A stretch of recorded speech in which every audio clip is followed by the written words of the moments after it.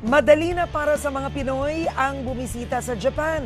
Magiging maluwag na sila sa visa requirements para sa mga turista mula sa Pilipinas at ibang bansa sa Southeast Asia.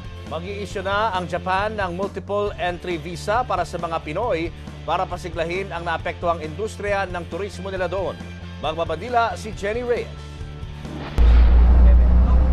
Bukod sa Amerika, isa ang Japan sa mga bansa na paborito at pangarap puntahan ng maraming Pilipino. Pero mahigpit ang proseso sa pagkuha ng visa.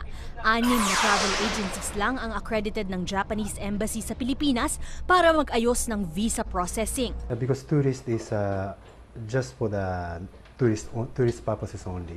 But sometimes the case of the working there, so Japanese government decide uh, to make it strict. Pero magbabago na ito ngayon. Bumagsak kasi ang turismo doon mula nang maganap ang matinding lindol at tsunami noong 2011. Kumonti rin ang bilang ng Chinese tourists dahil sa tensyon sa away sa teritoryo ng Japan at China. Mag-i-issue na ang Japan ng multiple entry visa para sa mga turistang Pilipino na dati ibinibigay lang sa mga Pinoy na may importanteng business transaction sa Japan. Target ng Japan ang mahigit dobleng dami ng mga turista mula sa ibang bansa sa Southeast Asia. Uh, long trip is uh, nowadays going to the States and going to the Europe, yeah. But we have Japan and the Philippines, it's only four hours trip by the airplane. Sa mahigit 8 milyong turista sa Japan noong 2012, 780,000 ang mula sa Southeast Asia.